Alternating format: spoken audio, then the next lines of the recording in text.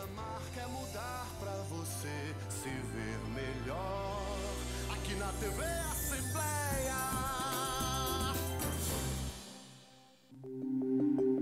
O programa a seguir é livre para todos os públicos. FUNSEMI apresenta a previsão para a quadra chuvosa deste ano. Prefeitura de Fortaleza divulga as ações para prevenir e combater as arboviroses. Muda a regra de estabilidade para mulher que engravidar durante o trabalho temporário. Pré-carnaval, Secretaria de Cultura apresenta a programação para Fortaleza. Começa agora o Jornal Assembleia.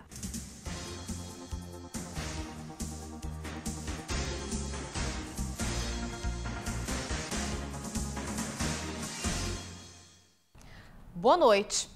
A FUNSEMI divulgou hoje a previsão de chuvas para os meses de fevereiro a abril deste ano. O prognóstico é de precipitações acima da média. O Ceará poderá ter chuvas acima da média neste ano em 2020. Segundo o prognóstico apresentado hoje pela Fundação Cearense de Meteorologia e Recursos Hídricos, o cenário para as precipitações está mais favorável que no ano passado, por exemplo. Em 2019, a probabilidade era de 30% de chuvas acima da média. Para este ano, essa possibilidade subiu para 45%. Ainda na comparação com o ano passado, a previsão para que a quadra chuvosa fique em torno da média caiu de 40% para 35%, e para que fique abaixo da média, passou de 30% em 2019 para 20% neste ano. Segundo o presidente da FUNSEMI, as análises que identificaram uma temperatura mais alta no Atlântico Sul em relação ao Atlântico Norte indicam uma possibilidade maior de chuva. O Atlântico estando aquecido mais no, na região equatorial sul, né, é melhor porque favorece a convergência dos ventos alísios nessa porção mais ao sul, né, que implica que a umidade vai ser trazida do Oceano Atlântico para o continente. Se o aquecimento fosse mais ao norte, a convergência dos ventos alísios se daria mais ao norte e aí a umidade seria carreada, né, passaria ao norte do estado do Ceará. De acordo com o levantamento da Fundação, há maior probabilidade de chuvas no extremo norte do Ceará.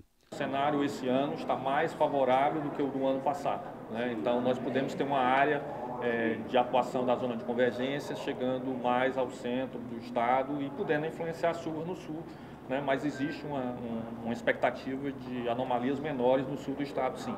Lembrando que a estação do Cariri é uma, uma estação que começa antecipada, né? Em janeiro, né? Então, em, em, maio você já espera uma, uma redução da chuva. Com a boa expectativa para a quadra chuvosa, cresce também a esperança de que o volume de água nos reservatórios aumente. Hoje, o Ceará tem uma reserva hídrica de apenas 14,5%, incluindo o volume dos três açudes do estado. O Castanhão com 2,45%, o Oroz com 5% e o Banabuiú com cerca de 8%. Segundo o secretário de Recursos Hídricos do Estado, um diagnóstico de gestão da água será feito após o término da estação chuvosa. Até lá, o governo pretende colocar em prática ações estruturais, com a construção de barragens e adutoras, através do programa Malha d'Água. Fazer uma boa gestão da água que temos e pensar sempre no futuro, através de ações mais estruturantes para melhorar a oferta de água no território, mesmo nos anos mais críticos, como nos anos que, que vivemos hoje. Ou seja, temos o programa Malha d'Água, um programa de adutoras para adensar adutoras no território e fazer com que é, a água chegue com maior garantia de quantidade e qualidade à população para o seu abastecimento humano. O maior volume de chuvas deve ocorrer até o mês de maio. O líder do governo na Assembleia, deputado Júlio César Filho, destacou o plano de contingência elaborado pelo governo para garantir o abastecimento de água em todo o estado. Nós estivemos na Assembleia discutindo continuamente é, o problema realmente da convivência com a seca e nós temos a certeza que a Assembleia dará total apoio para qualquer projeto e qualquer é, planejamento que chegue a casa. Vamos aprimorar através de emendas, discutir com os técnicos e, obviamente, conjuntamente, Poder Legislativo e Poder Executivo, a gente vai conseguir é, é, vencer essa batalha de conviver com a, a, a seca. E com a chegada das chuvas, aumenta a preocupação com as arboviroses. O Ministério da Saúde alerta para um possível surto de dengue a partir de março nos estados do Nordeste, Espírito Santo e Rio de Janeiro. A Prefeitura de Fortaleza apresentou hoje as ações que serão desenvolvidas para combater o mosquito Aedes aegypti. Nesta terça foi realizada uma reunião com os membros do Comitê Intersetorial de Enfrentamento às Arboviroses para apresentar o Plano Municipal de Combate ao Mosquito Transmissor da Dengue, Zika e Chikungunya. A grande preocupação para este ano é a possível epidemia de dengue.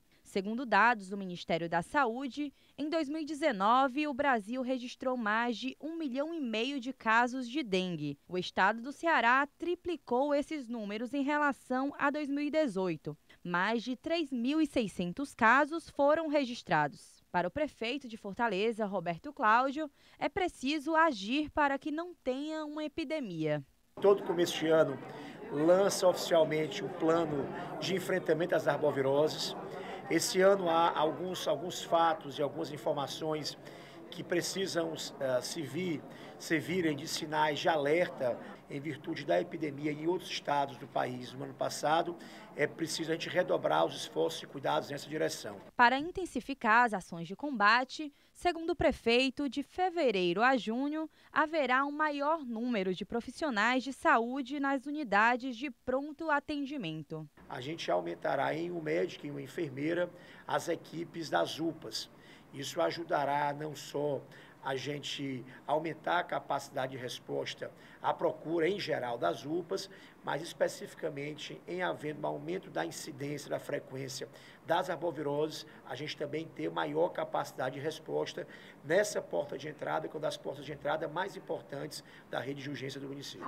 Uma das ações do plano é o sistema de monitoramento. De acordo com a secretária de Saúde de Fortaleza, Joana Maciel, o objetivo é acompanhar em tempo real qual área tem maior notificação sobre a doença e minimizar os riscos de epidemia para a população. Se a gente começar a perceber que em determinado bairro, em determinada rua, tem um número de casos suspeitos elevados, é aí que a gente vai fazer o que chamamos de corte de transmissão que isso, essa é uma ação extremamente importante. Antes a gente não tinha esse sistema integrado, a gente trabalhava a partir de notificações, havia uma demora, às vezes até de duas, três semanas, para que a gente pudesse ter acesso a essa informação.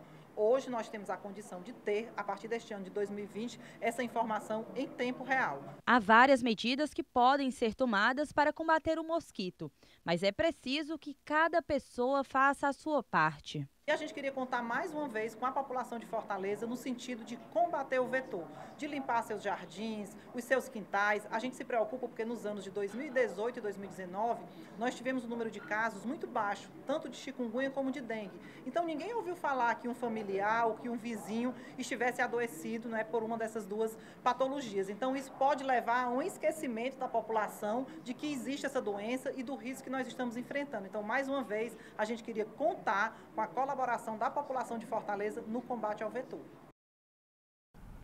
Aumentou em quase 40% o número de grávidas com HIV nos últimos 10 anos. Com a obrigatoriedade do teste no pré-natal, muitas mulheres só descobrem que estão infectadas na gestação. E é fundamental o acompanhamento médico para evitar a transmissão do vírus para o bebê. Essa gestante que prefere não ser identificada acaba de iniciar o pré-natal. Ela descobriu o vírus HIV há sete anos. Desde então, tem feito o tratamento com a medicação necessária. A dona de casa já sabe que vai precisar de cuidado dobrado e acompanhamento médico para não transmitir o vírus para o bebê. O que eu estou fazendo, que eu já sei que eu tenho, aí eu estou fazendo, estou me prevenindo para poder não nascer com problema. Enquanto o número de casos notificados de AIDS caiu entre a população geral no país, o número de gestantes com HIV aumentou quase 40% nos últimos 10 anos. Para se ter ideia, em 2008 foram registradas 6,7 mil gestantes com HIV, o que representava 2,1 casos para cada mil nascidos vivos. Já em 2018, esse número passou para 8,6 mil, o equivalente a 2,9 casos a cada mil pessoas. Hoje, em todo o país, todas as mulheres grávidas atendidas pelo Sistema Único de Saúde devem obrigatoriamente fazer o teste do HIV. Os casos positivos devem ser notificados no Sistema de Informação de Agravos de Notificação. Com a determinação do teste, muitas mulheres só descobrem a doença quando engravidam. O médico infectologista lembra que de 1996 até hoje tiveram muitos avanços. Mais pessoas estão fazendo o teste de HIV e mais gente está recebendo tratamento. No atendimento a gestantes, por exemplo, o país reduziu a chamada transmissão vertical, quando o vírus é passado da mãe para o filho na gestação, no parto ou durante a amamentação. A taxa caiu mais de 47% em 10 anos. Inicia-se a medicação antirretroviral, que é a medicação indicada para tratamento do vírus, tá certo? Essa medicação tem uma, um efeito muito bom, né? Ela consegue baixar a carga viral dessa gestante rapidamente. Então a transmissão do vírus para o feto vai diminuindo cada vez mais, né? A partir do segundo trimestre da gestação já é indicado o uso da medicação, né? A gente já pode começar. Claro que às vezes chegam pacientes que já são soropositivas e engravidaram, então elas já fazem uso da terapia antirretroviral de forma adequada. Então nessas pacientes a gente apenas dá seguimento àquele medicamento, né? Caso o medicamento não tenha nenhuma contraindicação na gestação. Caso tenha, a gente substitui por outro, que é o mais indicado na gestação. Daqui a pouco, muda a regra de estabilidade para a mulher que engravidar durante o trabalho temporário. Prefeitura de Fortaleza apresenta a operação para o pré-carnaval na capital cearense, logo depois do intervalo.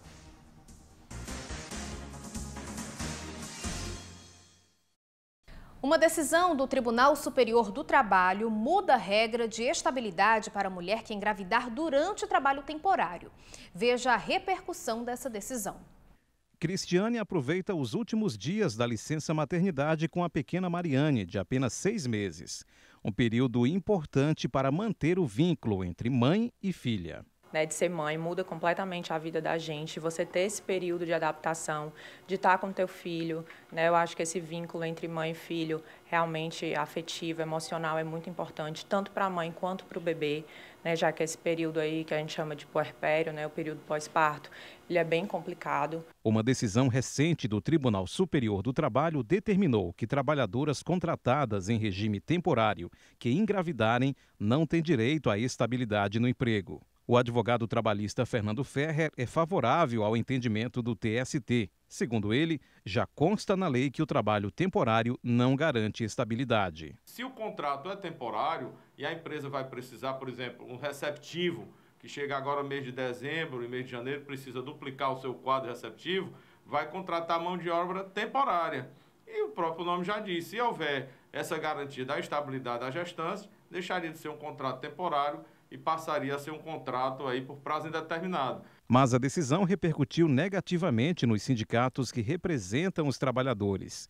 Segundo a secretária da Mulher Trabalhadora da CUT, Osaneide de Paula, as atuais reformas têm prejudicado principalmente o setor informal e as mulheres são as mais atingidas ainda traduz um impacto muito maior, inclusive salarial, inclusive de perda de direitos. Né? E quando se trata da gestante, da, da questão da gestação, do direito, da estabilidade da gestante, ainda é um prejuízo enorme, pra, porque se nós não garantirmos a essas mulheres o direito de ter os mesmos direitos iguais às outras mulheres em situação de empregabilidade, são essas mulheres que vão sofrer mais ainda após serem demitidas e não ter estabilidade da gestante. Início de ano é sempre uma oportunidade para colocar em prática a organização financeira. Veja as principais dicas de como planejar o orçamento.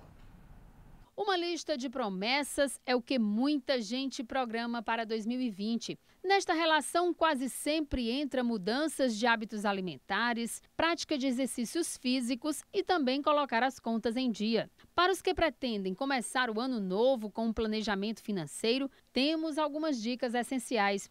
Uma boa opção é fazer uso de ferramentas que ajudam na organização do orçamento familiar. Cláudia Manuel utiliza bem esses instrumentos. Além de uma planilha no computador com todos os gastos mensais, ele usa um aplicativo que possibilita mais detalhamento das receitas e despesas. Mas ele conta que nem sempre foi assim. Antes era desorganizado, muitas vezes ficava no vermelho e não tinha controle dos gastos. Há dois anos mudou radicalmente. Hoje, não só tem um planejamento financeiro, como também uma reserva para as emergências e sonhos a serem realizados. Eu tenho mais ou menos de 10 a 20% de reserva que eu guardo para qualquer tanto para fazer um, alguma viagem ou algo parecido, ou até para uma emergência, tipo assim, porque às vezes acontece, como eu recebo de vários clientes, ah, tem meses que eles falham no pagamento, e em vez de eu recorrer a empréstimos juros altos, eu recorro à minha, à minha reserva, entendeu? Minha reserva serve para isso, exatamente para recorrer às emergências. Quem pretende começar o ano com as finanças organizadas pode recorrer a alguns sites e aplicativos. O próprio Banco Central criou a página Cidadania Financeira, onde é possível escolher três perfis. Para quem quer se planejar, ou está endividado, ou ainda pretende poupar e investir. Este economista ressalta que tudo na vida requer planejamento e nas finanças não é diferente. Segundo ele, o primeiro passo é ter objetivos e traçar estratégias para alcançá-los. Outra dica é listar as despesas fixas e sempre procurar fazer uma poupança. Evidentemente, programar um, um, um pequena poupança, que normalmente se estimula que seja no mínimo 7% da sua renda bruta você consiga poupar, colocar numa caixa ou numa poupança para eventualidade ou para fazer alguma, alguma coisa que é muito importante para si ou para a família. A Prefeitura de Fortaleza divulgou nesta terça-feira as atrações e o plano operacional do Pré-Carnaval 2020. A programação começa na sexta-feira e segue até o dia 16 de fevereiro. O tema do ciclo carnavalesco deste ano é Fortaleza em Cantos e Cores de Chico, uma homenagem ao artista Chico da Silva pela importância dele na história das artes plásticas na capital e ainda comemoração do aniversário de 110 anos do artista. Que esse ano nós temos os 110 anos de nascimento né, do Francisco Domingos da Silva, o famoso Chico da Silva. Né? Então, um artista plástico que dispensa apresentação. Se você não conhece ele de nome, mas você quando você vê uma tela dele, você imediatamente se identifica com aquela tela, porque você, certamente você já viu essa tela em muitos lugares, por conta dos traços, né, por conta do desenho, por conta principalmente das cores que ele empreendeu né, na sua obra. A programação está bem diversificada e acontece em vários pontos de Fortaleza, com atrações para todos os públicos, algumas já bem conhecidas, como a banda Alfazemas e os Transacionais. A festa começa a partir desta sexta-feira, dia 24 de janeiro. Os polos oficiais são Praça do Ferreira, Praça Cristo Redentor, Mocinha, Largo dos Tremembés, Mercado da Aerolândia, além do Mercado São Sebastião, Mercado dos Peixes, Benfica, Aterrinho da Praia de Iracema, Horto Florestal Municipal Falconete Fialho e Polo dos Queijos. As crianças podem se divertir na Praça Figueira de Melo. A prefeitura ainda apoia blocos que fazem apresentações nos bairros por meio de edital e o Carnaval da Domingos Olímpio, nos dois, um investimento de quase um milhão e meio de reais. É um período, de fato, que a gente tem uma, um encontro de muitas é, é, é, tribos, podemos dizer assim, né? Quer dizer, visitantes, é uma época que a cidade recebe milhares de visitantes, né, Alexandre? A cidade fica com toda a sua rede hoteleira, com 650 mil visitantes, ou seja, é uma, é uma, é uma era de extrema movimentação que a cidade é, é, se apresenta da sua forma mais acolhedora. Né? Isso, na, na, verdade, provoca esse crescimento econômico e a gente também, na verdade, consegue mostrar nossa cidade para além da festa. O plano operacional conta com o apoio de diversos órgãos. A Polícia Militar vai disponibilizar 1.510 profissionais nesses meses de janeiro e fevereiro. A MC irá fazer os desvios e a fiscalização nas proximidades das festas. A MC ela vai atuar em todos os, todos os, é, os blocos oficiais que terão, é, chegando até a 162 agentes, é, dependendo do dia. Né? A operação no cotidiano ela continua, então a gente vai ter blitz itinerantes da mesma forma, é, acontecendo no, durante todos os dias, em qualquer horário pode estar acontecendo, tanto a blitz lei C quanto as blitz itinerantes. A folia conta com atrações locais bem conhecidas já. A exemplo da cantora Iane Caracas, eu sou princesa.